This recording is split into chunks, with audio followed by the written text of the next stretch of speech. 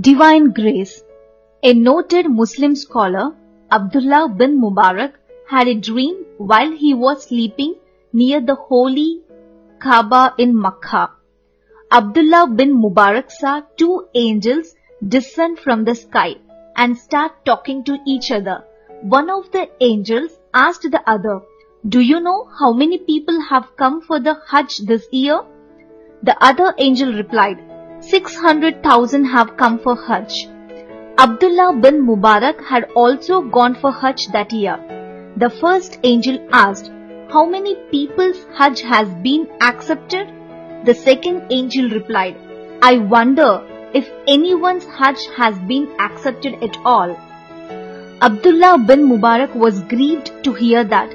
He thought, so many people have come from all over the world, crossing so many obstacles like rivers, jungles, desert and mountains, suffered so many hardships and meeting so many expenses. Would their effort be wasted? Allah does not let anyone's effort go to waste. Abdullah bin Mubarak had thought only so far when he heard the other angels speak. There is a cobbler in Damascus. His name is Ali bin al-Mufiq. He could not come for Hajj, but Allah was accepted his intention for Hajj.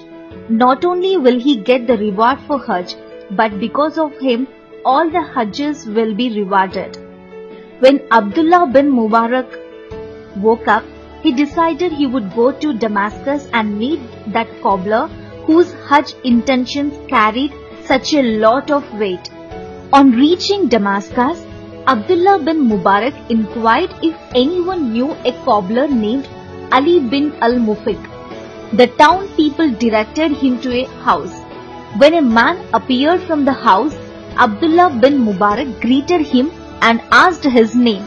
The man replied, Ali bin al-Mufiq. Abdullah bin Mubarak asked, What do you do for a living? Ali bin al-Mufiq replied, I am a cobbler. Then Ali bin al-Mufiq asked the stranger's name that had come looking for him. Abdullah bin Mubarak was a very well-known scholar of Islam. When Abdullah bin Mubarak introduced himself, the cobbler was anxious to find out why such a well-known scholar was seeking him out. When Abdullah bin Mubarak asked Ali bin al-Mufiq to tell him if he had made any plans to go for Hajj.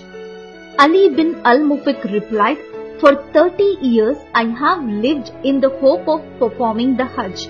This year I had saved enough to go for Hajj, but Allah did not will it so I could not make my intention translate into action. Abdullah bin Mubarak was eager to find out how could this man's Hajj be accepted and blessed for all the people who went for Hajj that year when he did not go for Hajj in the first place. While talking to the cobbler, he could feel certain purity in his heart. Islam regards greatness not in wealth or in power, but in civility in good manners and the goodness of heart. Abdullah bin Mubarak further asked, Why could you not go on Hajj? In order not to disclose the reason, Ali bin al Mufiq again replied, It was Allah's will. When Abdullah bin Mubarak persisted, Ali bin al Mufiq revealed, Once I went to see my neighbor's house, his family was just sitting down for dinner.